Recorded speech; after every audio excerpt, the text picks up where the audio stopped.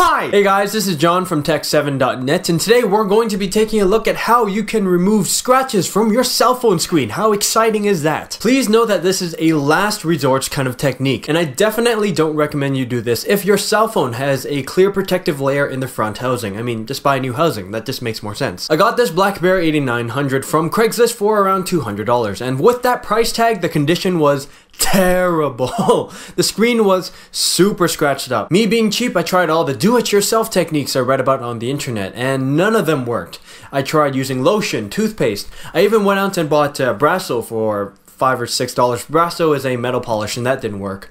I also, well, there was one technique where they recommend you use a banana I didn't do that because I didn't think it would work and it just sounds gross. The technique you're going to be seeing in this video will work guaranteed if you do it correctly. It's the same technique used to remove scratches from anything from cars to guitars. Please note that we are not responsible if you damage your device and we definitely don't recommend this for touchscreen phones because touchscreens have like different technologies and stuff. You can buy all of the stuff we're going to mention in this video at your local Walmart or something similar and you shouldn't need to spend any more than 15 to $20 which is a lot better than paying you know $100 for a a brand new screen. Okay, enough chit chat, let's get to it. Here is our subject, a beaten up BlackBerry 8900. Look how disgusting it is. Check out the scratches on the screen, aish. Let's start off by listing the materials. First we have water, scissors, a pen, electric tape, 400 grit sandpaper, 800 grit, 1000 grit, sorry I mixed up the labels, 1500 grit, and you can use 2000 grit as well, but my Walmart didn't have any. Two cleaning cloths, and 3M rubbing compound, the good stuff that comes in the black bottle. We're gonna start off by taking the phone apart, so you'll need the proper tools. We're gonna take out the battery so that your phone won't get water damaged, and you don't uh, kill yourself. Alright, let's fast forward a bit.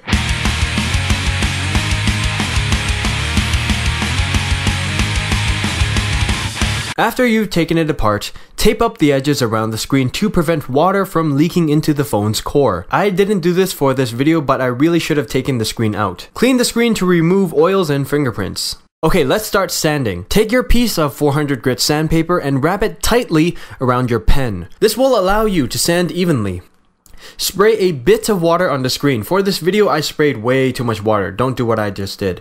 And start sanding with medium pressure. This is called wet sanding. Sand until all the initial scratches you had before vanishes. This may take a while.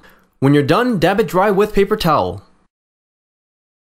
You should see this uh, brushed metal looking matte finish. This is what we want, so don't freak out.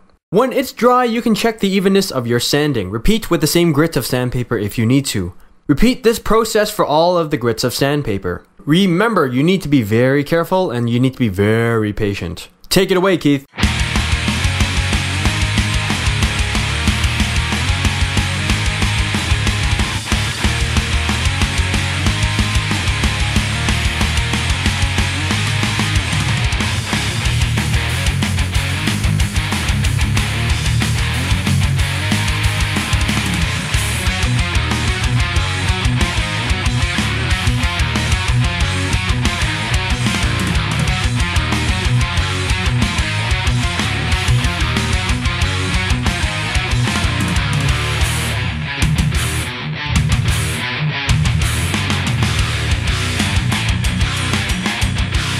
Now the scratches look very fine. Don't freak out and say, oh my god, my screen looks hideous. We're not finished yet. Generously dab some 3M rubbing compound onto the screen and start polishing. Rub in a circular motion with even pressure until all of the polish disappears. Buff it a little with a clean cloth when you're done and check.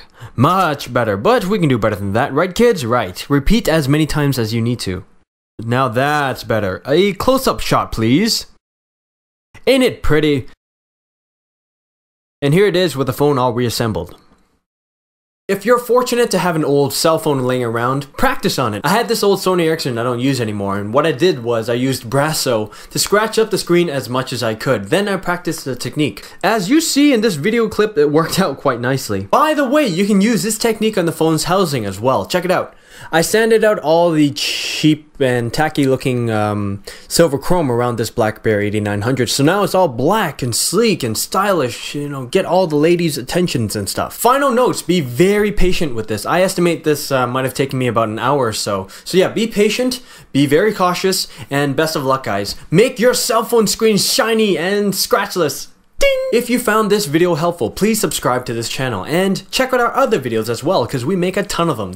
I likes to make the videos. This was John from tehkseven and I will see you guys next time. Laters.